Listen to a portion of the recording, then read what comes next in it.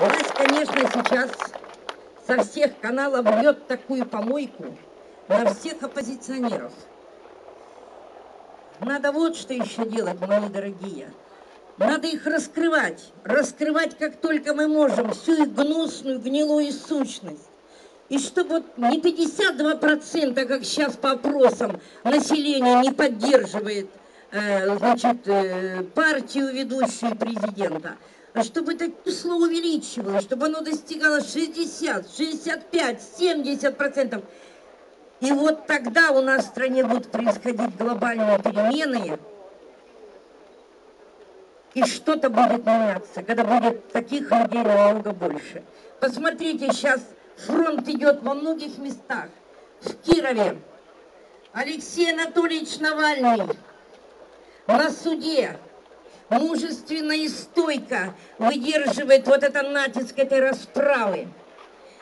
Узники болотные, которые являются заложниками, слепнут в тюрьме, болеют, но не идут, упорно не идут на сделку со следствием.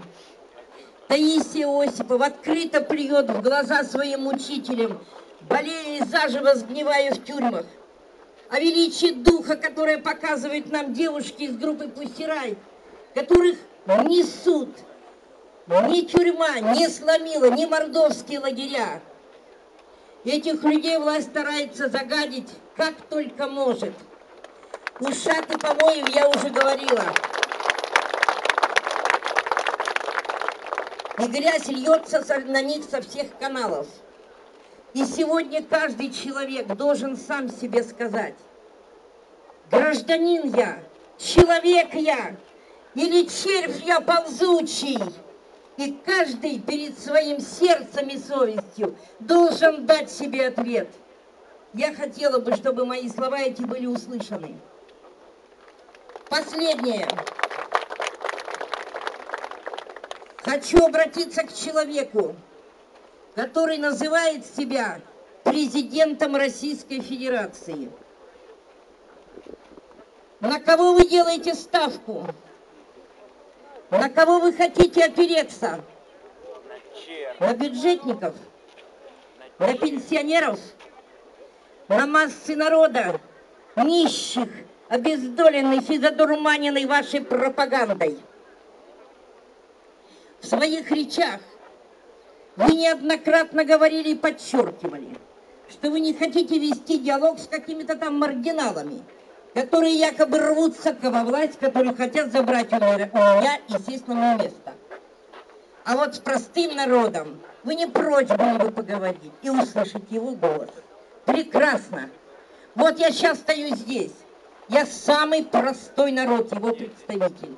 Я пенсионер, пожилой человек, простой обыватель. Вы не можете меня упрекнуть в том, что я хочу у вас забрать власть. Мне она не нужна. Вы не можете... Вы не можете обвинить меня в том, что я обворовала все леса и пашни Российской Федерации. Я уже иногда с Богом разговариваю и спрашиваю, ну как там меня встречать будут? Так вот, слышите этот голос, голос этого народа. Волнуюсь прям немного.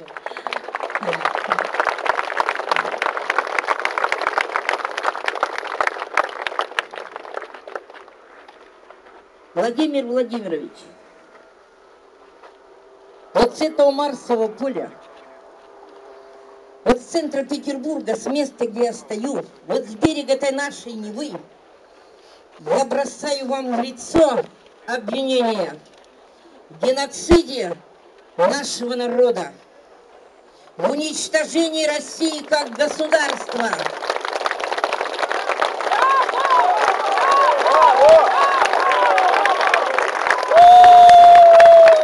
Преждевременной смерти миллионов моих соотечественников, в нищете и бесправии русского народа.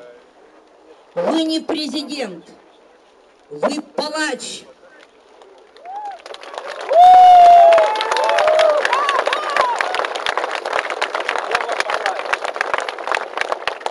у мудрого правителя народ не стонет.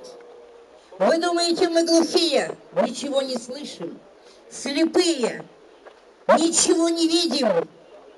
Это вам надо из своих ушей вытащить уск, который вы туда залили, чтобы не слышать народный стон, который уже над всей Россией несется, начиная от Ставрополя, Кавказа и кончая Владивостоком. Вы хотите убежать от этого стона? Не получится. Бойтесь одного, чтобы этот стон не перерос в дикий рев. Время сейчас работает уже не на вас. Умерьте свой пыл. Освободите из тюрем невинно посаженных туда людей. Прекратите уголовные преследования своих оппонентов. Алексея Анатольевича Навального, Сергея Удальцова, Леонида Развожаева и всех, кто сидит по болотному делу, и многих-многих других политических заключенных. Время еще есть. Если вы это не сделаете, значит вы трус. Вы не можете с ними бороться в открытой и честной борьбе. Но наступит тот день, я в это верю, наступит тот час, когда обездоленный, отчаявшийся русский народ в своем праведном гневе догонит вас и с присущей ему прямолинейностью разденет вас до гола. Свободу!